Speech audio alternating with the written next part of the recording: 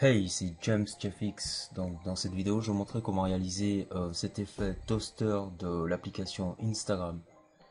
Donc, c'est un effet euh, assez sympathique. Euh, j'ai remarqué que cet effet est beaucoup plus intéressant sur les photos sombres avec des couleurs un peu plus ternes que sur les, les images avec beaucoup de couleurs.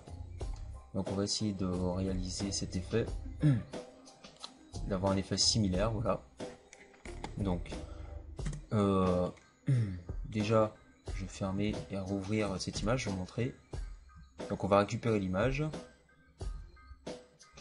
Donc, on a l'image ici, on va la débloquer en maintenant la touche Alt enfoncée ou voilà, et on double-clique dessus.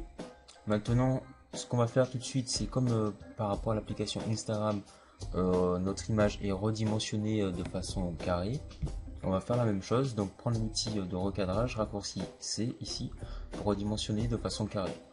Donc euh, on va ici dans les options, on sélectionne carré 1 par 1 ici et on voit tout de suite que euh, il y a déjà une partie qui a été masquée ici. Donc euh, si vous avez coché supprimer les pixels rognés, quand vous allez valider les pixels qui ne qui seront pas sélectionnés, c'est-à-dire qui sont grisés ici, seront supprimés définitivement. moi je garde cette case décochée. Voilà, donc je fais ma petite sélection euh, tranquillement, donc ça c'est bon. Voilà, je valide. Maintenant, je vais créer un calque de remplissage courbe. Ici, je clique ici. Voilà. Donc, euh, en entrée, je clique sur le, point du bas en entrée, je le mets à 25. Voilà.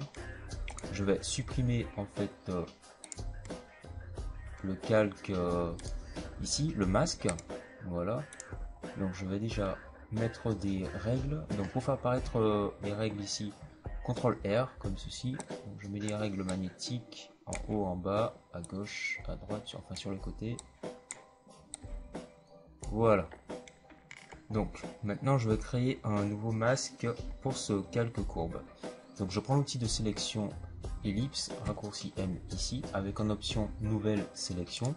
En contour progressif 20 pixels.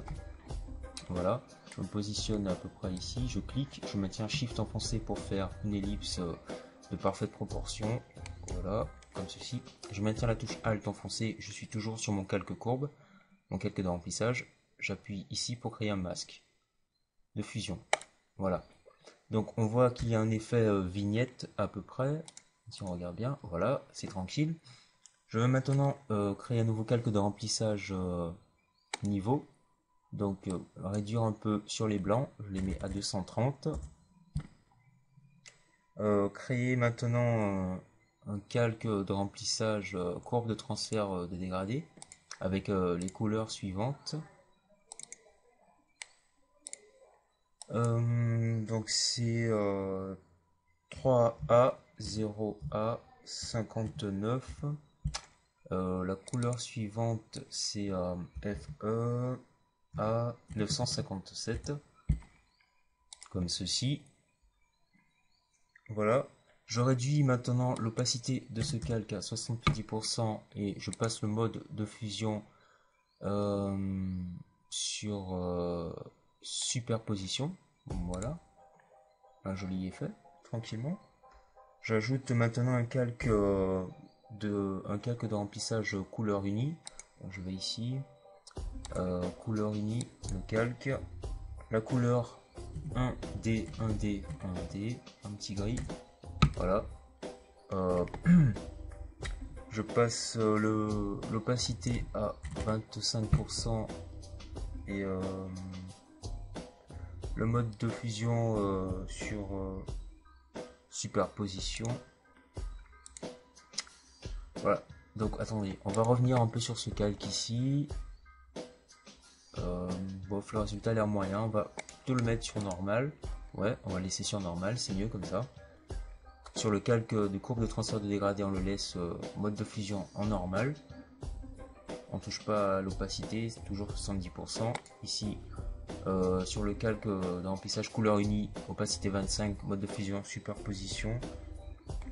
On va supprimer euh, ce masque ici, faire une sélection, donc contrôle sur euh, on maintient la touche contrôle et on clique euh, sur le masque qui a été créé pour le calque courbe ici. Voilà, et on va maintenir la touche Alt euh, enfoncée pour créer notre masque. Voilà, notre nouveau masque. Donc on va un peu modifier la taille, euh, les proportions de notre masque. CTRL T sur le masque qui est sélectionné. On voit bien la sélection autour. C'est blanc. Donc je vais redimensionner ça. Élargir euh, légèrement. Alors je maintiens Shift et Alt enfoncé pour le faire monter de façon proportionnelle. Comme ceci. Je valide par entrée. Voilà. Donc je rezoome. Maintenant je vais ajouter un nouveau euh, masque de remplissage euh, calque euh, uni, comme ceci, de couleur un peu orangée. Donc euh, la couleur c'est D2 9901. Voilà, passe le mode de fusion, l'opacité pardon à 50%, le mode de fusion sur couleur, densité couleur moins. Voilà, densité couleur moins.